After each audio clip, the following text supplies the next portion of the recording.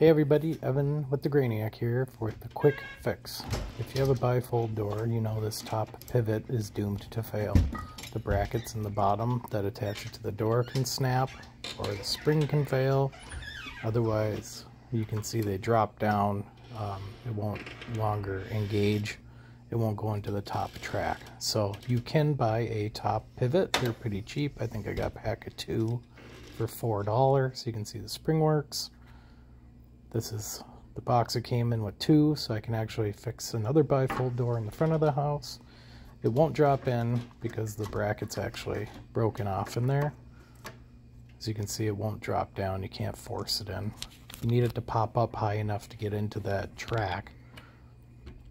So I take a drill and I just drill out the piece of plastic. You can always build it up from the bottom if you want to drop something in there to uh, lift it up a little bit if it doesn't get high enough for the track. It's always easier to build it up than uh, get it deeper in there. So there's the old piece, dropping the new one.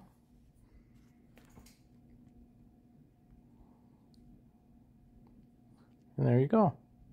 That's all there is to it. Took me a while to figure out the name of this piece. Spring pops it up into the track. And the door is brand new again.